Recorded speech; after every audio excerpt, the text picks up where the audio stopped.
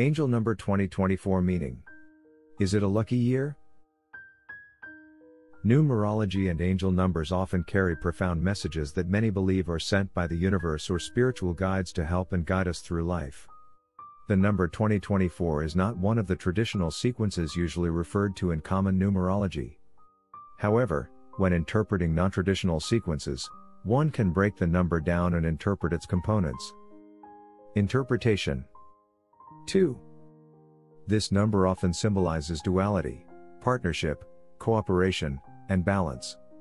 It's about harmony, relationships, and diplomacy. When it appears, it may suggest that you should trust and have faith in the journey you're on and the partnerships around you. 0. 0 is a powerful number in numerology. It represents potential, infinity, oneness, wholeness, and continuing cycles. It's often seen as a message to tap into your intuition and listen closely to the universe.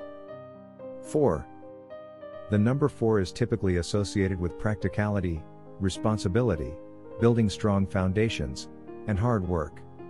It's about being organized and creating stability in your life. Combining these numbers, 2024 can be interpreted as a sign that you are building towards something important in your partnerships or relationships, and you're on the right path. It's about balancing the practicalities of life, 4, with the harmonious relationships and faith in the journey, 2, all while tapping into the infinite potential and intuition, 0. Is 2024 a lucky year? The concept of luck is subjective and varies between cultures and individuals.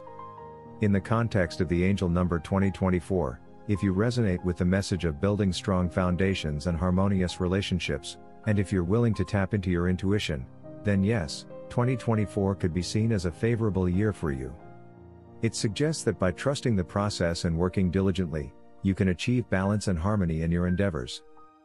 Always remember, however, that while numbers can provide guidance or a different perspective, it's essential to listen to your intuition and make decisions based on what feels right for you. The true power lies within your actions, beliefs, and mindset.